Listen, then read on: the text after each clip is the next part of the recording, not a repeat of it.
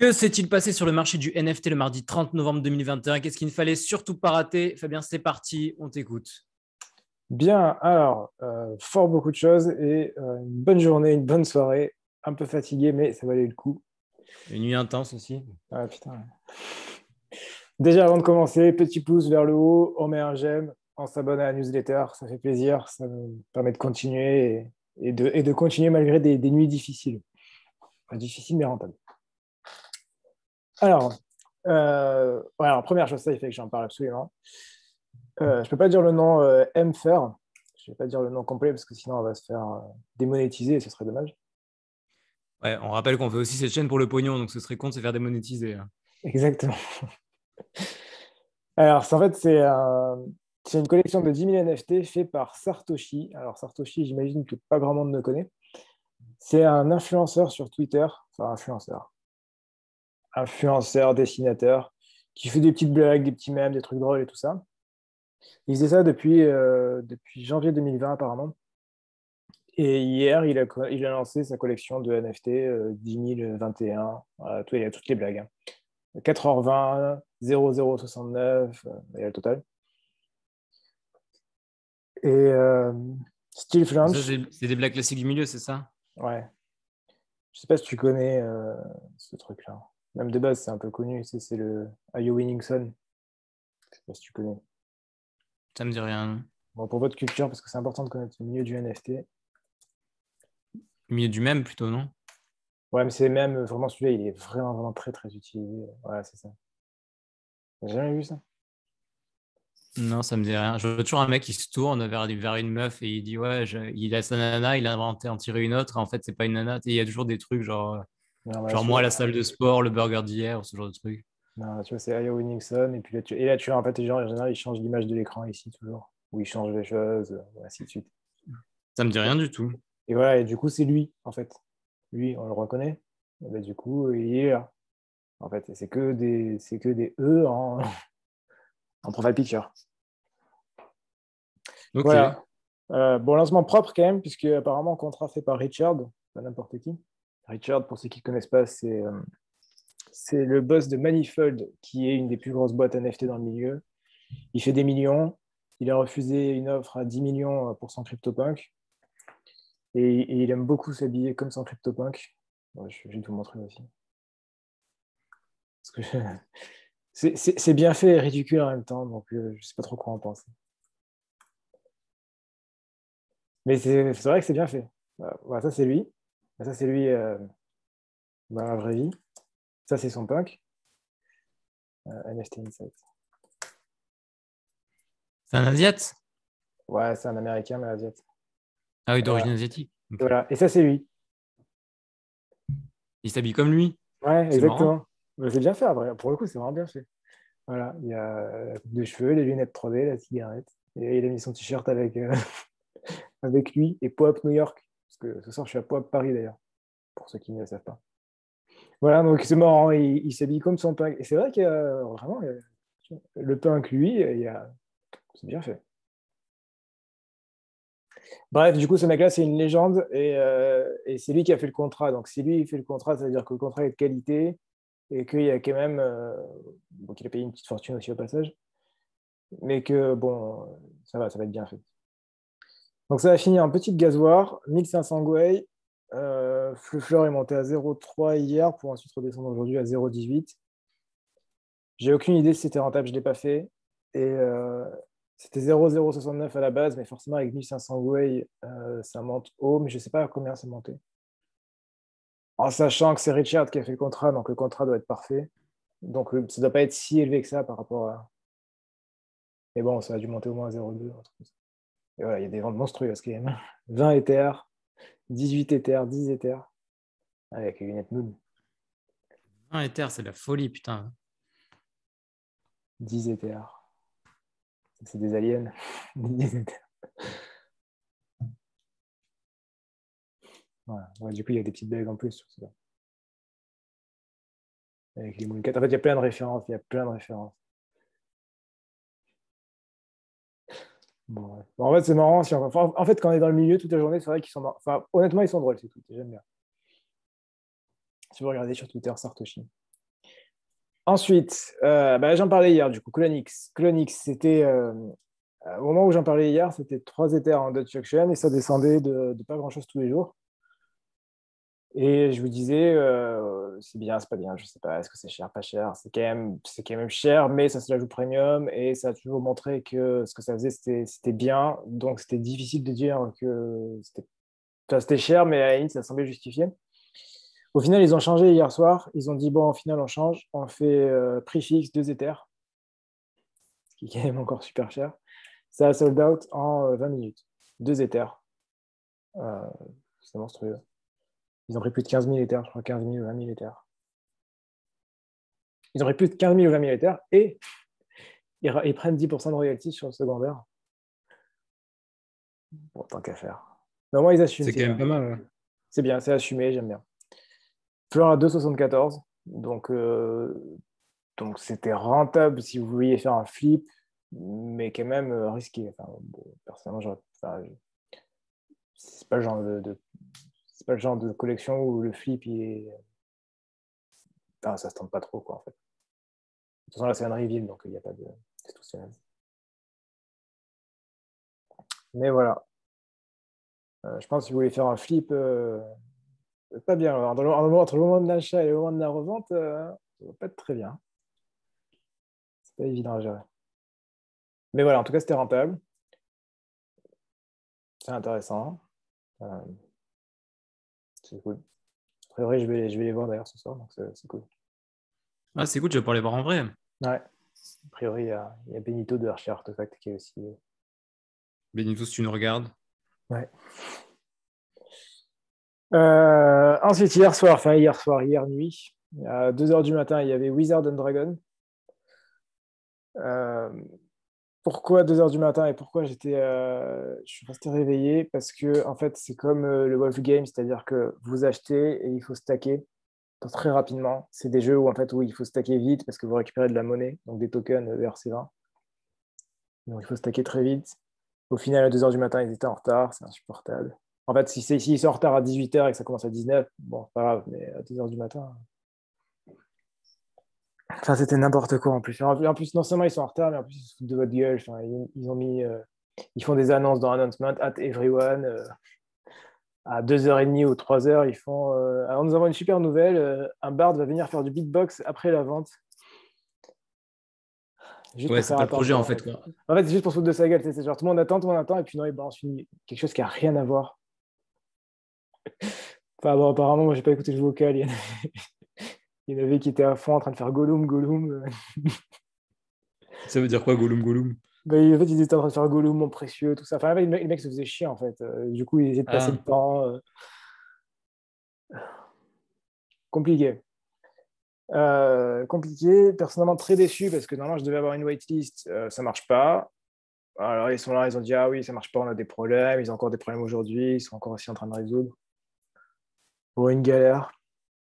Une galère qui fait que le floor a un, peu chuté. 0,17 euh, je crois le floor pour les Wizards. Et par contre, les ah dragons, les dragons assez chers quand même, 2 euh, éthers. D'ailleurs, je peut-être à prendre un petit Wizard.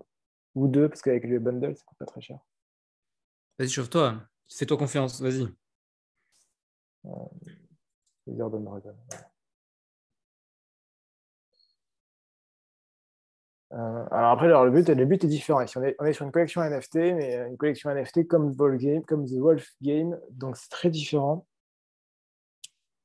Euh, c'est pas des NFT standards, c'est euh, un play to earn, pour le coup, c'est vraiment un play to earn. Vous achetez euh, un NFT, vous avez soit un wizard, soit un dragon. 90% de chance d'avoir un wizard, 10% de chance d'avoir un dragon. Le wizard, il sert à quoi? Il va être stacké et quand il est stacké, il va récupérer toutes les pendant 24 euh, heures à 48 heures, il va récupérer en général 10 000 gold. Donc au bout de 48 heures, 20 000 gold. Avec 20 000 gold, vous pouvez à nouveau minter à notre NFT. Sauf que pour, pour sortir ça, il faut unstack. Pour unstack, il y a une taxe à payer auprès des dragons de 20%. Et quand vous mintez à nouveau, vous avez une chance sur 10 de vous faire euh, bouffer votre euh, wizard par le dragon. Enfin, du coup, cramer cette fois-ci. Et ça continue comme ça. Et après, il y a la génération 1, la génération 2, et ainsi de suite. Donc c'est un, un NFT, mais c'est surtout un jeu. Et donc du coup, c'est un peu différent. En général, on va pas minter pour revendre, on va minter, on va faire minter et stacker. Donc c'est vraiment très différent. Et après, du coup, il y a toute la notion de sushi swap, de tout ce qui est swap, qui est, tout ce qui est gestion des tokens qui est différente. Donc on est, on est sur du NFT, NFT, DeFi, euh, gestion des tokens, enfin, c'est beaucoup plus complexe. Ou alors vous pouvez revendre sur OpenSea, mais en général, ce n'est pas l'option la plus rentable. C'est la plus simple, mais pas la plus rentable. Voilà, donc le floor des Wizards, il y a 0,23, mais je crois qu'en bundle, il est pas mal. 0,23, c'est un peu cher par contre. 0,23, ça fait un quart d'éther, c'est quand même pas mal déjà. Avec les bundle, c'est 0,45, ouais, c'est pas non plus merveilleux. Ça fait un gros, un gros, une grosse dépense, c'est pas trop ta cam, c'est plus des petites sommes et faire des grosses reventes après. Ouais, c'est pas trop ma cam. Bon, bref. Voilà, en tout cas, si vous voulez, il y a ça. Euh, je vais voir si quand même je peux gratter ma prévente parce que normalement j'ai accès. Donc euh, il va falloir que j'aille dans le Discord, tout ça. Au passage, faites très attention quand vous allez. Euh, si vous n'avez pas votre prévente, que vous allez dans le Discord, que vous demandez ce genre de choses, soyez hyper vigilant. C'est le moment où vous, avez, êtes le moins vigilant en fait parce que vous êtes énervé, vous êtes un peu fatigué, ça ne marche pas. Euh, on peut vous contacter en privé et que ce ne soit pas la bonne personne. Faites attention. Ouais, c'est un truc qui peut, c'est un petit conseil, mais il peut vous faire économiser euh, des, des, milliers d'euros. Parce que c'est là, c'est, là, où vous êtes vulnérable au final, puisque vous êtes fatigué, vous en avez marre, vous êtes énervé. Et du coup, un scam facile, euh, vous pouvez vous faire avoir. Alors qu'en temps normal, ça n'aurait pas, pas été le cas. Sachant que quand même dans les NFT, dans la crypto, les scams, c'est monnaie courante. Voilà, ensuite, euh, hier soir, Crypto Bulls. ça, c'était bien, ça, ça m'a fait ma soirée. Euh, Crypto Bulls, donc 0,22 Ether au lancement. Euh, alors, je, vais, faire un tir groupé. Crypto Bulls et Alien Secret Society, les mêmes problèmes quand on a une whitelist, on, a, donc on est en pré-vente, vous êtes en pré-vente, vous avez accès à la pré-vente, on vous dit voilà, vous avez accès à la pré-vente, 12 heures, 24 heures, 1 heure, tant que vous voulez, n'importe quoi. Et après, il y a la vente publique. Si on a accès à la pré-vente, et qu'on a accès à la pré-vente pendant 24 heures parce qu'on est en pré-vente, on n'est pas censé devoir se dépêcher parce qu'il y en a qui ont dépensé, parce qu'ils ont alloué trop de pré-vente par rapport à ce qui était prévu. C'était le, cas pour ces... Hmm. deux-là. C'est-à-dire, on vous a réservé votre place, mais en fait, on a réservé, mais en fait, on a fait du surbooking. Donc, on a réservé votre place, mais il y a beaucoup trop de monde. Du coup, ben, au final, elle n'est pas réellement réservée votre place. Ce, qui est, ce, qui est, scandaleux, en fait, c'est de l'amateurisme pur. C'est vraiment une, une, méthode de travail assez merdique et une preuve de, de, de, médiocrité dans l'exécution. Ouais, complètement. Ça montre qu'on ne sait pas gérer une prévente. Quoi. Euh, mais surtout que c'est la base, en fait. C'est par pure cupidité, vous allez flinguer toute votre prévente à cause de parce que vous voulez en, gratter un peu plus. Quoi. Normalement, euh, je ne suis pas censé devoir me dépêcher pour aller monter mes, mes, mes ou mes, aliens. Je suis censé être tranquille et me dire, OK, ben, j'ai le temps parce que ce temps-là m'est alloué. C'est ça. C'est les aliens qui parlaient de, de faire euh, vision long terme, machin, tout ça Ouais, c'était les aliens. Ouais, parce qu'en fait, les mecs, ils parlent de vision long terme, mais au final, ils, vont te niquer avec des fausses préventes et ils vont, en fait, ils vont flinguer leur, leur communauté à très, très court terme. En fait, c'est exactement ce que je dis, parce que je fais. Donc, c'est clairement du travail, euh, du travail médiocre et méprisable. Quoi. Ouais, non, ça, vraiment, c'est un truc. Si vous nous regardez, euh, globalement, c'était de la merde. Voilà. CryptoBull, euh, pareil, mais bon, CryptoBull, ça se vend beaucoup plus cher. Donc, je, la, je la pardonne un peu plus facilement. si on fait de l'argent dessus, bon, ça va, ça se pardonne plus facilement. C'était euh, à 0,4 hier, c'est descendu à 0,3, un truc comme ça, et après, ça a monté. Et là, 0,725 avec un, avec un prix de base à 0,22, c'est pas mal, ça fait plaisir. Ça fait plaisir. Bon, après, 10% de royalties, qui même, tout comme les aliens d'ailleurs. 10%, on se fait plaisir. On se fait plaisir sur royalties. On est là pour le long terme, mais on est là pour l'argent quand même on est là pour long terme et pour gratter de la thune. 10%, c'est clairement, ça veut dire qu'on est là pour, pour ramasser le max de thunes possible, ce qui n'est pas un problème en soi, mais bon, il faut assumer derrière. Quoi. Ouais, c'est ça. Eux, ils n'ont pas dit. Euh, eux, c'était beaucoup plus assumé. CryptoBull, c'était beaucoup plus assumé. Déjà, le fait de dire, euh, d'être en tant que modérateur, de dire euh, si vous en avez deux, je vous conseille d'en flipper un. flipper, ça veut dire le revendre rapidement pour faire de la thune. C'est déjà, c'est déjà une preuve de maturité.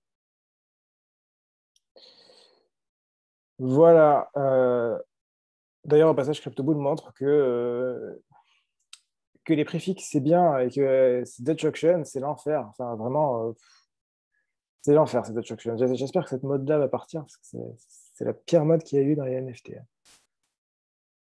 Ce qui m'attriste, c'est que c'est même c'est Larvalabs qui a commencé ça. Mais, c'était la, pire idée qu'ils ont Ensuite, euh, Rarible. Bon, Rarible, j'en parle pas trop parce que j'aime pas trop. J'utilise quasiment pas. Et euh, je suis pas le seul. Mais bon, euh, ils sont là, ils existent. Et alors, en fait, pour, pour information, il fut un temps, genre en février, mars l'année dernière, enfin vraiment au tout début, même, même un peu avant que je me lance, pas au début quand je commençais à regarder. Rarible, c'était une grosse plateforme. C'était un truc, les gens allaient beaucoup dessus, c'était très connu, ça marchait bien. Et puis euh, OpenSea est monté, monté, monté, et, euh, Rarible est devenu tout, tout petit à côté. Et, donc on se demande si Rarible va faire quelque chose ou pas. Sachant qu'il y, y, avait un truc qui était pas mal chez Rarible et qui n'y a pas sur OpenSea, c'est que quand vous achetez ou que vous vendez des, euh, des, des NFT, vous récupérez un token Rari en airdrop toutes les semaines. Et donc ça permet d'avoir bah, ça permet d'avoir plus d'argent en plus, c'est un token, donc c'est un cours et ainsi de suite. Donc c'était intéressant comme concept. Mais euh, personne, plus personne ne va sur un Ribble. Donc bon. Voilà, euh, ils vont intégrer Tezos dans leur marketplace. Ça veut dire que toutes les œuvres qui avaient été achetées sur euh, Iketnunk, feu Iketnunk, parce que bon, ça ne marche plus trop, sur Object, tout ça, ça va arriver sur Rarible, donc ça peut être intéressant. Bon, Rarible, ce n'est pas encore très gros, mais si Rarible s'y met, ça va inquiéter OpenSea qui devrait s'y mettre aussi. Surtout ça, en fait. Au final, c'est par ricochet, euh, c'est intéressant.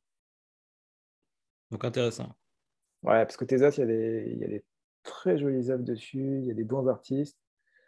Ça se vendait pas très cher à l'époque. Pour ceux qui en ont acheté, c'était euh, c'était pas cher. Mais par contre, il n'y a, pas, a, pas le, a pas le volume d'achat qu'il y a sur OpenSea. Donc, euh, si ça arrive sur OpenSea, hyper intéressant. Notamment sur des artistes connus. S'il y, y, a du pack qui, de, de Tezos qui arrive sur OpenSea,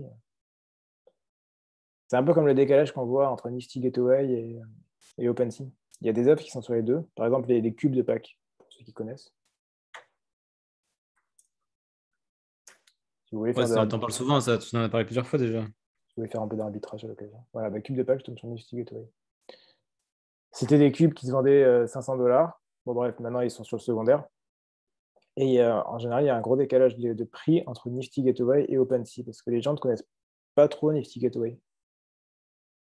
Pareil, c'est une plateforme qui était très connue au démarrage, mais qui maintenant, euh, bon, maintenant elle fonctionne toujours, mais elle est...